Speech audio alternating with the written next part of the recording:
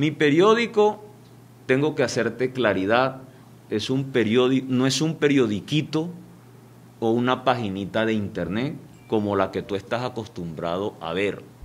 A lo que él me respondió que necesitaba la suma de 150 millones de pesos. Óigase bien, 150 millones de pesos me exigió el señor José Manuel Vega de la Cruz a cambio de no sacarme una nota el próximo 25 de octubre del 2021.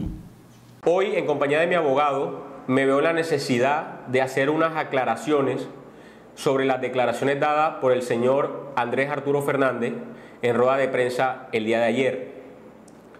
Lo primero que tengo que, que aclarar es que el señor me busca debido a unas investigaciones que estamos adelantando en el medio para el que yo trabajo sobre unos actos de corrupción que se vienen presentando en el área metropolitana de Valledupar, entidad que el señor dirige. Con respecto a eso, eh, el viernes me ubica un amigo, un amigo mío, me llama por teléfono y me dice que necesita dialogar conmigo. No me dice para qué temática. Yo llego a su apartamento. Cuando estoy allí, a ese, a ese apartamento llega el señor Andrés Arturo Fernández. Nos vimos por primera vez, eh, me dice que tiene conocimiento sobre unas investigaciones que estamos adelantando, que él está interesado en trabajar conmigo y que él tiene unas pruebas que aportar para desvirtuar esa información que yo tengo. Esa fue la primera vez que nos vimos. Posterior a ello, él me cita el día miércoles para que nos volvamos a ver y yo accedo a verme con él por segunda vez y es cierto, fui hasta donde él me citó después de una llamada telefónica eh, porque él me iba a entregar la documentación que desvirtuaría la investigación que nosotros estamos adelantando. Como yo llego al sitio, después de dialogar con él, me doy cuenta que no me va a entregar ninguna documentación. Yo le digo que para qué me hace venir si me está haciendo es perder el tiempo. Yo desciendo de su camioneta y cuando me bajo de la camioneta, el señor me agrede junto a su escolta, me golpea con un puño en la cara y posterior a ello el escolta con el que andaba, que andaba armado, me amenaza con el revólver y me lo pone a la altura del estómago.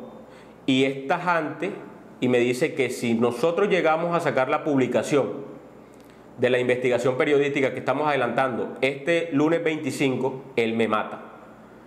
Fueron palabras textuales del señor Andrés Arturo.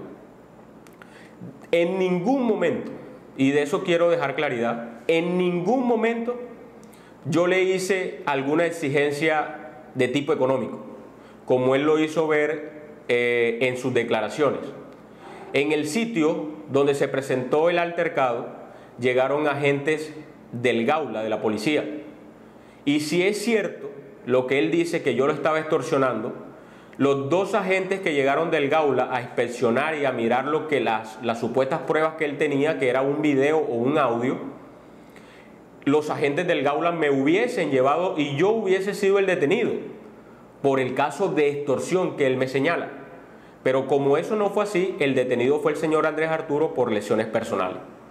De eso tenemos las pruebas, de eso vamos a presentar las pruebas ante las entidades pertinentes. Frente al tratamiento que le dieron las autoridades a este caso, tengo que precisar que hubo demoras porque no nos querían recibir la denuncia por amenazas en contra del señor Andrés Arturo Fernández. Nosotros llegamos a eso del mediodía y solo hasta, la, hasta pasada las 5 de la tarde fue que pudimos instaurar, instaurar la denuncia. Eh, quiero agradecerle a las personas que se solidarizaron conmigo, a ti Enrique Camargo por haberme dado la oportunidad, a Carlos Cadena por, por confiar y en la honestidad mía, la gente que me conoce como persona, sabe que nunca he estado involucrado en un caso de esto, y ni como persona ni como profesional. Quiero hacer salvedad y claridad también que no tengo enemigos y que si algo me llega a pasar a mí, el único responsable es el señor Andrés Arturo Fernández. Eso que quede Claro porque no tengo enemigos. Evita el robo de tu vehículo. En GPS Alarma CJ tenemos lo mejor en seguridad vehicular. GPS para carros, motos y maquinaria de línea amarilla. Con monitoreo satelital 24-7. Alarmas con sensor de proximidad. Sencilla. Todas con encendido a distancia. Cámaras de seguridad. Sistema de bloqueo central para puertas de carros. Llámanos 313-803-6453. 305-240-1014. Diagonal 18D 2050. Los Caciques.